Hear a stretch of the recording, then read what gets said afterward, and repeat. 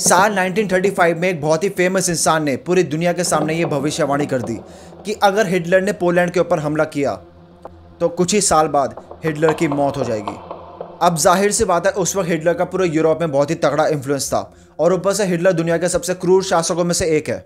और उसके ऊपर कोई इतनी बड़ी भविष्यवाणी कर दे तो वो चुप बैठेगा क्या?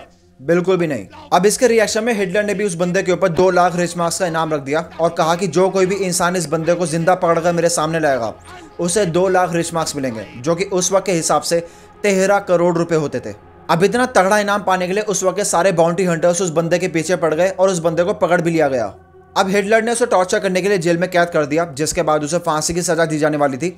लेकिन इसी जेल में कुछ ऐसा चमत्कार हुआ, जो आज तक के इतिहास में ना तो कभी सुना गया और ना ही कभी देखा गया। उस कैदी ने बाहर खड़े गार्ड्स को अपनी बातों में कुछ इस तरह से वश में किया कि उन गार्ड्स ने खुद से ही उस कैदी को बाहर निकाला और फिर बाद में खुद को ही जेल के अंदर बंद कर लिया। सुबह जब उन गार्ड से पूछा गया कि उन्होंने ऐसा क्यों किया तो उनके पास इसका कोई भी जवाब नहीं था। उन्हें कुछ याद नहीं था कि उनके साथ पिछली रात को क्या हुआ है। और वो कैदी हिटलर की इतनी टाइट सिक्योरिटी होने के बाद भी, अपने सर पर करोड़ों रुपए का इनाम होने के बाद भी कुछ इस तरह से गायब हुआ, जैसे कि वो कभी पैदा ही नहीं हुआ था।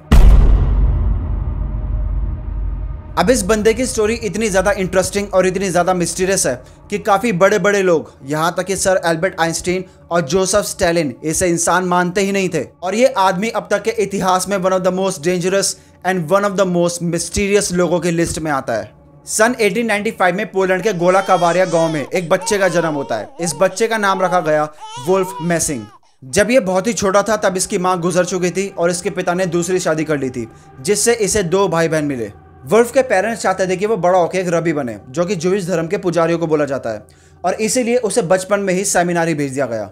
अब वुल्फ मैसिंग एक धार्मिक इंसान तो थे, लेकिन इतने धार्मिक इंसान नहीं थे कि वो एक पुजारी बन जाए। और इसलिए वो सब कुछ छोड़ छाड़ के पहुँच गए रेलवे स्टेशन। रेलवे स्टेशन के अंदर जो सबसे पहले ट्रेन आई, वो उसके अंदर चढ़ गए और एक चेयर के नीचे जाके छुप गए। और सोचने लगे कि कोई टिकट कलेक्टर उन्हें पकड़ ना ले। लेकिन जैसा वुल्फ ने सोचा था, वैसा हुआ नहीं। कुछ ही देर बाद एक टिकट कलेक्टर आता है और वो वुल्फ को नीचे देख लेता है। वुल्फ की उम्र उस वक्त पंद्रह साल थी और जब टिकट कलेक्टर उसे टिकट माँगता है तो उसके पास दिखाने के लिए कुछ भी नहीं था। लेकिन तभी वुल्फ ने ज़मीन पर पड़े एक न्यूज़पेपर के टुकड़े को उठाया और उसे टिकट कलेक्टर को दे दिया। और ये प्रार्थना करने लगा कि काश टिकट कलेक्टर उस न्यूज़पेपर के टुकड़े को टिकट समझकर पंच कर दे और मुझे जाने दे। और बहुत ही सरप्राइजिंगली ऐसा हुआ भी। उस टिकट कलेक्टर को न जाने ऐसा क्या हुआ कि उसने उस न्यूज़पेपर के टुकड़े को टिकट समझकर उसे पंच कर दिया। और वुल्फ से बोला कि जब तुम्हारे पास टिकट है तो तुम छुप क्यों रहे हो? अब ये चमत्कार देखकर वुल्फ बहुत ही ज़्यादा सरप्राइज़ हो गए थे और उन्हें समझ नहीं आ रहा था कि आखिर उनके साथ ये हुआ क्या। लेकिन उनको एक चीज़ समझ में आ चुकी थी कि शायद वो लोगों को अपनी बातों से मैन्यूपलेट कर सकते हैं। अब घंटों के ट्रैवल के बाद वो ट्रेन पहुँची बर्लिन और यहाँ से ही वुल्फ मैसिंग के स्ट्रगलिंग डे शुरू हुए। वुल्फ मैसिंग के पास कुछ पैसे वैसे तो थे नहीं और उनकी उम्र भी बहुत छोटी थी, इसलिए उन्हें अपना पेट भरने के लिए छोटे मोटे काम करने पड़े, जैसे कि किसी के घर में बर्तन धोना या जूते पॉलिश करना। लेकिन फिर भी उनके पास इतने पैसे नहीं हो पाते थे कि वो अपना दो टाइम का खाना भी खा सकें। और इसी की वजह से वो बहुत ज़्यादा कमज़ोर रहने लगे और इसी कमज़ोरी के चलते वो एक दिन बीस सड़क पर बेहोश होकर गिर गए। जब वो बेहोश होकर नीचे गिरे तो आसपास की भीड़ उनके पास जमा हुई और उस भीड़ ने नोटिस किया कि वुल्फ मैसिंग की ना तो साँसें चल रही है और ना ही धड़कने। जितना जल्दी हो सका, उतना जल्दी पब्लिक ने उन्हें हॉस्पिटल पहुँचाया और हॉस्पिटल पहुँचते ही डॉक्टर्स ने उन्हें डेड डिक्लेयर कर दिया। अब वुल्फ मैसिंग के परिवार का कुछ अतापता तो था नहीं इसलिए उन्हें तीन दिन तक हॉस्पिटल के अंदर ही रखा गया और तीन दिन बाद उस हॉस्पिटल के अंदर कुछ ऐसा चमत्कार हुआ, जिसने वहाँ के सभी डॉक्टर्स को हिलाकर रख दिया। तीन दिन बाद जब एक नर्स वुल्फ मैसे की बॉडी के पास पहुँची तो उन्होंने नोटिस किया कि वुल्फ मैसे की उंगलियाँ हिल रही हैं, जिसे देखकर वो बहुत ज़्यादा घबरा गई। जिसके बाद उन्होंने तुरंत वुल्फ मैसे की हार्ट बीट चेक करी तो उन्हें पता लगा कि वुल्फ मैसिंग तो ज़िंदा है, वो कभी मरे ही नहीं थे। कमज़ोरी की वजह से वुल्फ मैसिंग की हार्ट बीट इतनी ज़्यादा कम हो गई थी कि जिससे पता ही नहीं लग पा रहा था कि वुल्फ मैसिंग अभी ज़िंदा है या मर गए हैं, लेकिन वो अभी भी ज़िंदा थे। अब ये तो उनके साथ सिर्फ़ एक इंसिडेंट हुआ था, लेकिन इस इंसिडेंट के बाद वुल्फ मैसिंग अपनी हार्ट बीट पर भी कंट्रोल करना सीख गए। वो जब चाहे अपनी हार्ट बीट कम कर लेते थे और जब चाहे अपनी हार्ट बीट बढ़ा लेते थे। और वहाँ पर जाकर वो लोगों को अपना यही कर्तव्य दिखाया करते थे। वो अपनी हार्ट बीट इतनी ज़्यादा कम कर लेते थे, जिससे लोगों को लगता था कि वुल्फ मैसिंग मर गए हैं। लेकिन कुछ ही घंटे बाद वो दोबारा से रिवाइव कर जाया करते थे। सिर्फ़ यही नहीं, बल्कि उस सर्कस के अंदर वो अपने टैलेंट की मदद से लोगों की खोई हुई चीज़ें और छुपी हुई चीज़ें भी ढूंढ लिया करते थे। वो ऐसे लोगों का भी माइंड रीड कर लिया करते थे, जिससे वो अपनी लाइफ में पहले कभी नहीं मिले। और वो ये काम बहुत ही एक्यूरेटली करते थे और वो भी बिना किसी ट्रिक के। और अपने इसी टैलेंट की वजह से वुल्फ मैसिंग अब पूरी दुनिया भर में फ़ेमस होने लगे। वो इतने ज़्यादा फ़ेमस हो गए थे कि उन्हें गली गली का बच्चा बच्चा तक जाने लग गया था। वो अपने टूर के दौरान जब वियना पहुँचे, तब उनकी मुलाकात हुई सर एल्बर्ट आइंस्टीन से और सिगमेंट फ्रेड से। वो दोनों मैसिंग के बारे में बहुत कुछ सुन चुके थे और इसी चीज़ को वो पर्सनली टेस्ट करना चाहते थे। जिसके बाद वुल्फ मैसिंग ने सिगमेंट फ्रेड को बोला कि आप अपने मन में कुछ भी सोचो और मैं उसको पूरा करके दिखाऊँगा।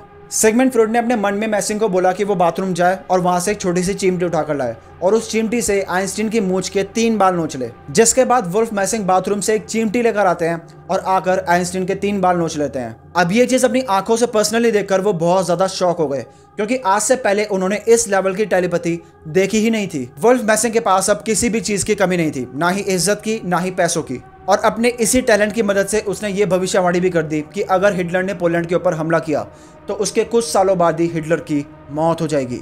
वो भी सुसाइड से। और अगर तुम इतिहास के पन्ने पलट कर देखोगे तो ये भविष्यवाणी 100 परसेंट सच निकली थी। अब इसके बाद क्या हुआ? वो मैंने तुम्हें वीडियो की स्टार्टिंग में बता ही दिया था कि कैसे हिटलर ने वुल्फ को जेल में बंद किया और कैसे वुल्फ जेल से भाग निकले। अब वुल्फ मैसिंग के सर पर दो लाख रिच मार्क्स का इनाम था। इसलिए वो अपनी जान बचाकर यूरोप से भागकर पहुँच गए सीधा यूएसएसआर और यही वो वक्त था जब वुल्फ मैसिंग की लाइफ के सबसे ज़्यादा चैलेंजिंग डे शुरू होने वाले थे। अब क्योंकि वो दुनिया भर में फ़ेमस थे, इसलिए जैसे ही वो यूएसएसआर उतरे, वैसे ही उनके बारे में पता चला किसको? जोसेफ स्टैलिन को, जो उस वक्त यूएसएसआर का बहुत ही पावरफुल एंड बहुत ही रूथलेस डिक्टेटर था। अब जोसेफ स्टैलिन ने भी वुल्फ के बारे में बहुत कुछ सुन रखा था, इसलिए जोसेफ स्टैलिन ने वुल्फ को क्रेमलिन लाने के लिए एक प्राइवेट जेट भेजा। जैसे ही वुल्फ मिसिंग जोसेफ स्टैलिन के सामने पहुँचे, वैसे ही जोसेफ स्टैलिन ने उनसे बोला show me what you can do यानी दिखाओ मुझे तुम क्या कर सकते हो। और इसी के चलते जोसेफ स्टैलिन ने वुल्फ मैसिंग को सबसे पहला चैलेंज दिया। वो सबसे पहला चैलेंज था कि तुम्हें अगले दिन मुझसे मिलने कंट्री हाउस आना पड़ेगा, वो भी बिना किसी परमिट के, बिना किसी परमिशन के।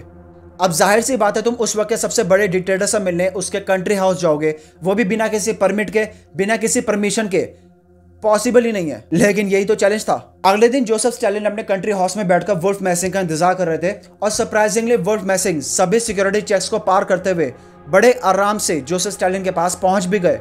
उन्होंने अपने टैलेंट के दम पर सभी सिक्योरिटी मेंबर्स को यह मानने पर मजबूर कर दिया कि वो उनके आर्मी चीफ है। खैर इसे जोसेफ स्टैलिन शौक तो हुआ, लेकिन वो इतना ज़्यादा इंप्रेस नहीं हुआ। इसलिए उसने वुल्फ मैसिंग को एक आखिरी चैलेंज दिया। वो दूसरा चैलेंज था कि वो बिना किसी डॉक्यूमेंट के, बिना किसी आईडी प्रूफ के स्टेट बैंक के अंदर घुसे और वहाँ से एक लाख रूबल निकाल के आए। और ये उन्हें लीगली करना था, यानी उन्हें कोई चोरी वोरी नहीं करनी थी।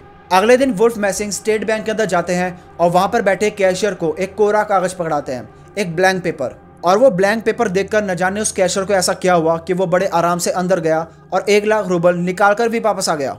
अब इस पॉइंट तक आकर जोसेफ स्टैलिन पूरी तरह से शॉक हो चुका था। उसे कुछ समझ नहीं आ रहा था कि आखिर ये सामने वाला बंदा ऐसा कर कैसे पा रहा है। बस उसे इतना तो समझ में आ गया था कि मेरे सामने जो बंदा खड़ा है, वो कोई मामूली आदमी तो नहीं है। एक दिन जब जोसेफ स्टैलिन ने वुल्फ मैसिंग से यह पूछा कि तुम कब मरने वाले हो तो उसका जवाब देते हुए उसने बोला कि आपके बाद।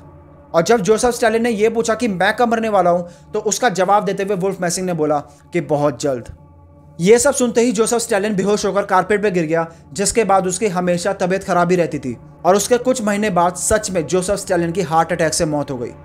यहाँ तक कि वुल्फ मैसिंग ने वर्ल्ड वॉर टू की डेट तक प्रिडिक्ट कर दी थी और उनकी ये प्रिडिक्शन भी बिल्कुल सही साबित हुई थी। उन्होंने ये तक कह दिया था कि सोवियत यूनियन के टैंक्स बर्लिन के अंदर घुसने वाले हैं।